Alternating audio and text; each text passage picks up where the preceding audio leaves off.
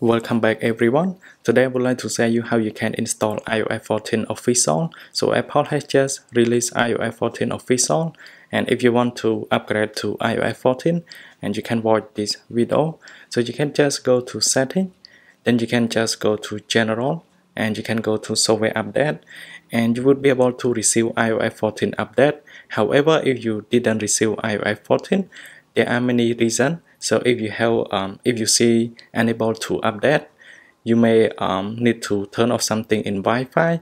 And for those of you that have installed Twig apps and you configure something in Wi-Fi so you need to turn it off make sure configure Proxy off and after that you can turn off and turn on Wi-Fi one more time. And you should be able to receive an iOS update from iOS 14 and you should be able to receive the update. And one more thing for those of you that have already using um, beta profile from iOS 14 make sure you go to profile and device management and you can um, remove it. And for some reason if you still not receive iOS 14 you need to restart your phone. So you can just hold down and restart your phone and after it turned back on you should be able to receive an iOS 14 update.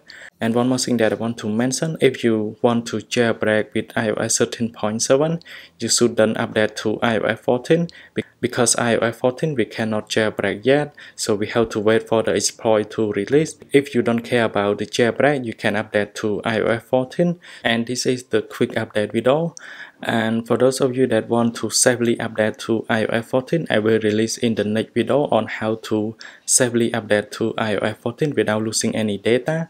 But for that method it does use a PC but I am sure that it is pretty safe so you can just update without losing any data like photo apps and so on. And this is it for this video and then I will see you guys in the next one